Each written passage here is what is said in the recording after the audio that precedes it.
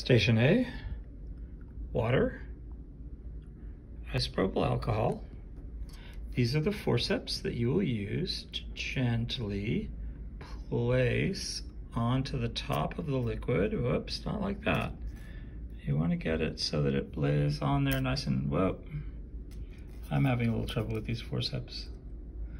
We want to lay our paper clip gently onto the surface of the water. We want to gently lay our paper clip onto the surface of the isopropyl alcohol and you will clearly see a difference between those. So when you come to station A, it's going to look something like this.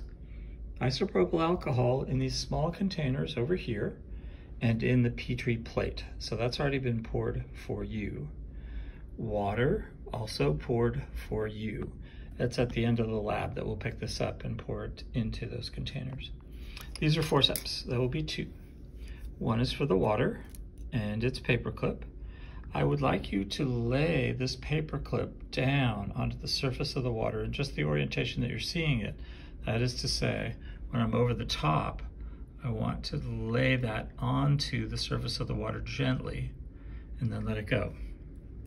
I'm going to do the same, different forceps, isopropyl alcohol, lay the paperclip on and then let it go and observe what happens.